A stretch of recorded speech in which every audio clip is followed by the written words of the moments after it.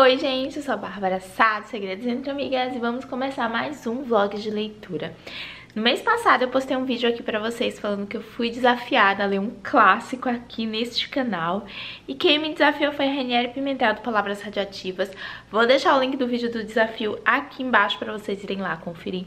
E quando vocês souberam o livro que eu leria, vocês ficaram entusiasmadíssimos Pediram muito pra eu fazer um vlog de leitura, então eu me empolguei pra fazer esse vlog. E é isso que vocês vão me acompanhar hoje, a leitura desse livro. Vou mostrar agora pra vocês o livro. Estou aqui com os meus artefatos de leitora, deitada no sofá, com minha coberta e o ar-condicionado ligado, porque se não for assim não dá pra viver. Mas vou mostrar pra vocês aqui qual que é o livro. Bom, vocês vão aqui junto comigo embarcar na leitura de A Cor Púrpura da Alice Walker. Estou muito empolgada, essa edição aqui que eu comprei é da José Olímpio, que é um selo da Companhia das Letras, é muito, muito bonita. Esse livro ele tem uma narrativa epistolar, então ele é todo em cartas e pela folhada que eu dei aqui, são cartas é, para Deus, sabe? Tipo orações. Então eu tô curiosa, eu não li nada da sinopse, não li nada sobre a história, então vai ser assim um primeiro encontro e descobrir o que é que eu vou achar a partir disso. Tô aqui com o meu marca-texto. É, eu sempre leio e, tipo, com marca-texto, porque se tiver corte legal, eu marco. E também tô aqui com alguns post-its. Eu acho que eu vou usar esse rosinha, que combina com...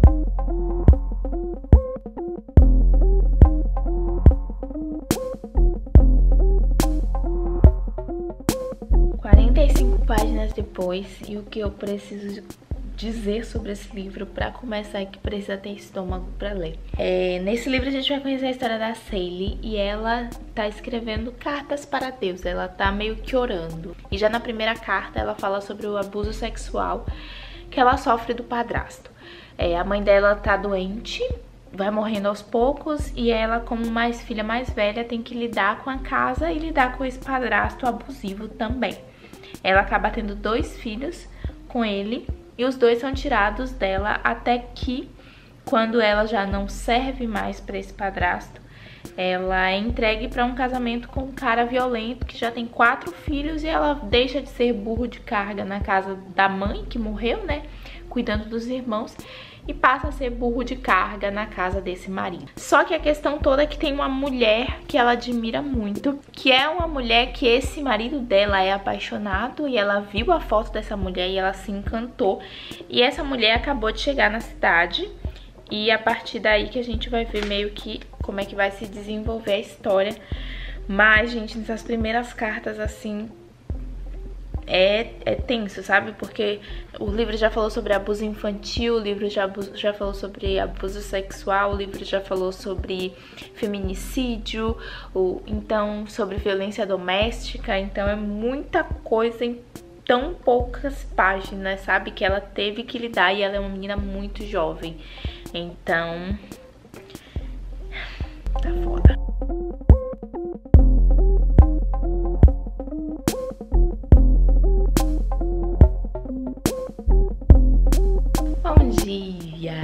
Atualizar vocês sobre a leitura de A Cor Púrpura. Eu tô aqui na página 123 do livro, tá aqui o livro. E um ponto interessante, eu já falei com vocês que é uma narrativa epistolar, né? E um ponto que eu acho muito legal é a forma de escrita. É, ele é escrito de forma informal, então a gente sabe que ela tem erros de pronúncia, erros de grafia, e esses erros foram preservados dentro da escrita de forma que a gente lê do jeito que ela fala. Eu achei isso muito interessante porque aproxima ainda mais a gente da protagonista e de todas as situações de vida dela, porque isso é uma das situações do livro, né? O fato de que ela não teve acesso à educação depois de uma determinada fase da vida dela por conta de adversidades que acontecem. Então eu achei isso muito interessante para mim como leitora, assim, poder é, entender como ela fala, entender essa parte mais coloquial da história e conseguir me é, transportar mais para aquela situação ali, sabe?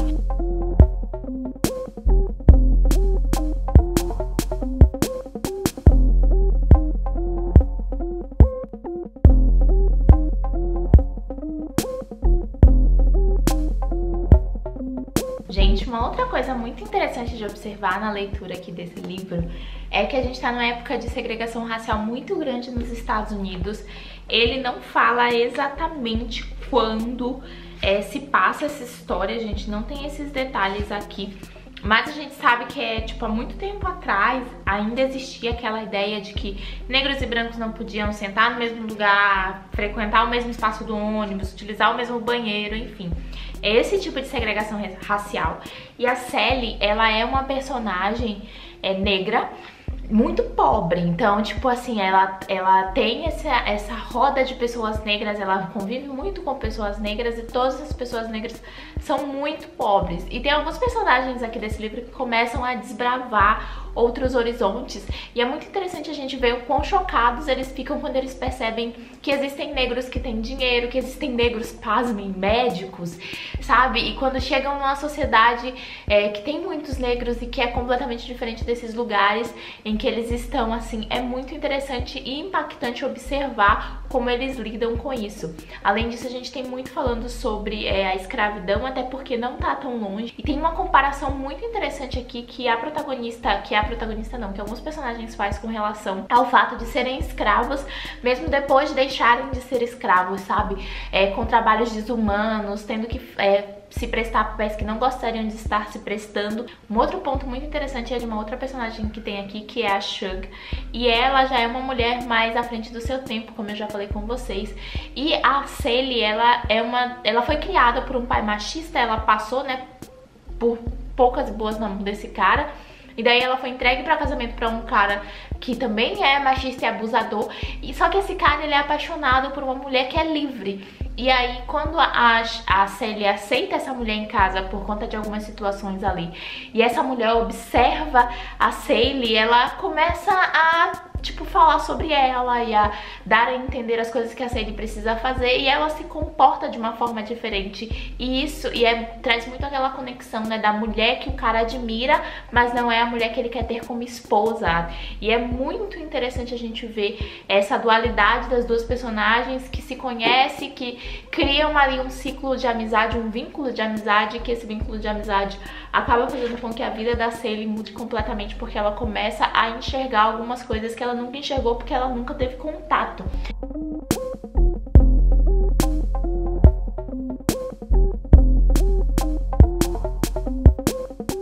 O homem corrompe tudo, Shug fala. Ele tá na sua comida, na sua cabeça e o tempo todo no rádio. Ele tenta fazer você pensar que ele tá em todo lugar. Quando você pensa que ele tá em todo lugar, você começa a pensar que ele é Deus mas ele não é. Quando você estiver tentando rezar e o homem se estatelar lá no fim, diga para ele se mandar, Shug fala. Invoque as flores, o vento, a água, a pedra. Gente, eu tô quase no fizinho da leitura e é muito intensa essa história, porque a gente vai vendo os personagens amadurecer conforme a trama vai acontecendo, em especial a Sally, que é a protagonista, mas também tem muito da irmã dela e da própria Shug também. E teve uma discussão agora aqui num capítulo sobre quem é Deus, né? Porque a gente tem uma visão de um Deus que é homem, que é branco, e aí ela não se sente mais à vontade com esse Deus, porque todas as pessoas que são homens e brancas perto dela de alguma forma fizeram algum mal para ela. E aí a Shug vai e começa a falar para ela sobre a forma como ela enxerga Deus. E é muito interessante porque é, essa é uma discussão muito real, assim, sabe? A sociedade ela sempre tenta impor um Deus pra gente, mas Deus tá dentro da gente. Tem um, um corte aqui que ela fala: a coisa que acredito, Deus tá dentro de você e dentro de todo mundo. Você vem pro mundo junto com Deus, mas só quem procura essa coisa lá dentro é quem encontra. E às vezes ela se manifesta mesmo se você não tá procurando ou não sabe o que tá procurando. Então, tipo, tem uns cortes que te faz refletir muito, assim. É, e não necessariamente sobre Deus, sabe? Eu sei que, tipo, às vezes as pessoas não acreditam, é, mas acreditam na força do universo. Eu acho muito que é, é a mesma coisa, sabe? Que tá interligado. E eu tô gostando muito de ver esse amadurecimento da Sally, de ser uma menina que passou por tantas dificuldades e que agora tá se enxergando e tá entendendo o mundo e tá conhecendo o mundo, tá se descobrindo, tá descobrindo o amor. É muito intensa essa parte da história e vale muito a pena, tipo, conhecer e tentar desbravar junto com ela.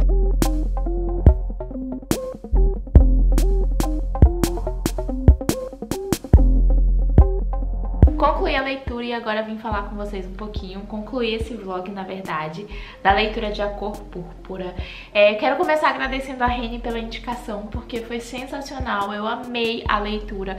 E não era um livro assim que eu tinha muito conhecimento, claro que eu já tinha ouvido falar, acho que todo mundo já ouviu falar sobre A Cor Púrpura, mas eu não fazia ideia do da história ou do que era o livro e inclusive preciso falar que o significado para o nome do livro é uma das coisas mais bonitas que eu já li na vida. É uma narrativa epistolar, então ele é todo feito através de cartas, sendo a sua maioria escritas pela protagonista, tanto para Deus quanto para sua irmã.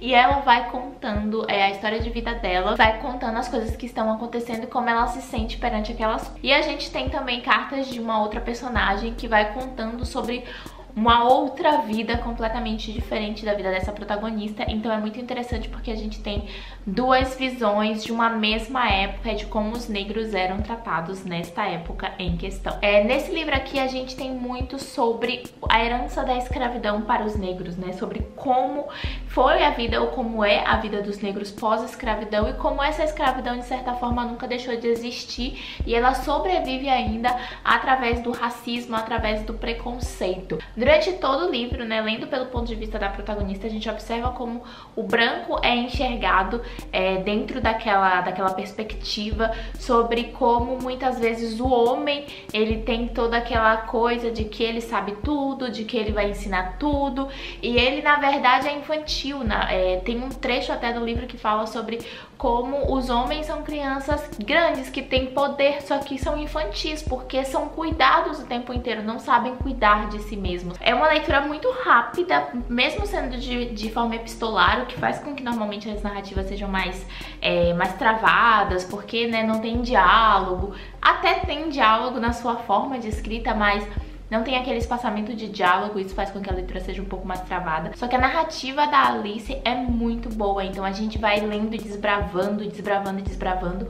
O começo é, um, é uma parte assim que gera muito ódio, na verdade tudo a gente vai sentindo muita raiva da situação, o que é um ponto positivo para a história gerar isso na gente, porque gera, é, é, é, resultado da empatia né, que a gente tem pelos personagens, mas conforme a gente vai vendo é, esses personagens saindo do casulo, descobrindo a vida, a gente vai se identificando ainda mais e a gente vai tendo ainda mais empatia e sentindo, é, sentindo se sentindo bem por esses personagens, mas sentindo raiva pelas situações que eles precisaram passar para chegar até a Liz. Enfim, foi uma leitura maravilhosa eu indico muito. Eu vou deixar o link de compra pra vocês aqui no box de informações.